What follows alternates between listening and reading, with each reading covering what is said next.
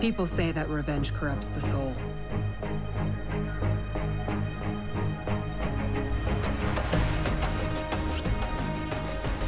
That if you go down that path, you'll never come back.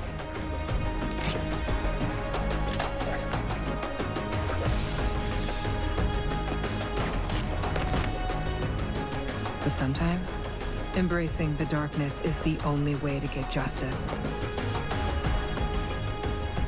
My name is Emiko Queen. I will get justice for my mother, and no one will stand in my way.